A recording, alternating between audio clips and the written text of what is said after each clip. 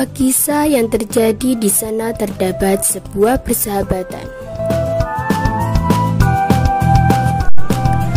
Pada suatu ketika seseorang siswi bernama Nida yang dari dulu ingin gabung ke dalam pertemanan mereka yang akhirnya memberanikan diri untuk bertanya agar bisa masuk ke anggota mereka.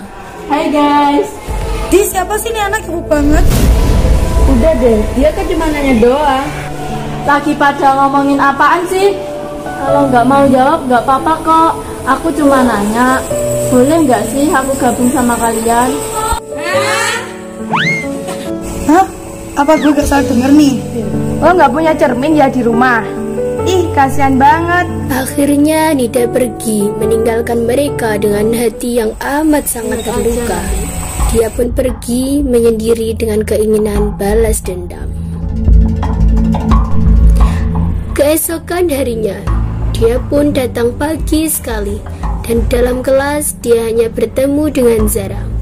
Dan kemudian dia mulai menjalankan rencana jahatnya. Hai Zara, aku minta maaf ya, kemarin aku nggak berniat buat kalian marah loh. Iya nggak apa-apa bagian kita juga yang kelewatan.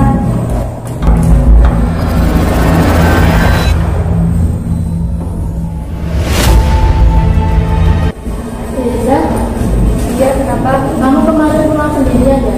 Iya, memang kenapa? Aku kemarin dengar kalau teman-temanmu ngomongin kamu loh. Hah? Seriusan? Iya.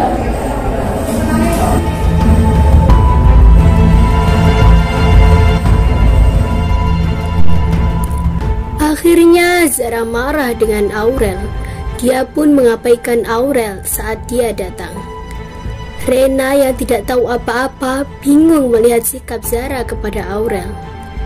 Rena yang pada saat itu mendengar rencana jahat Nida segera mendatangi Nida. Ya, kemarin kamu kan yang buat Zara marah sama Aurel? Enggak.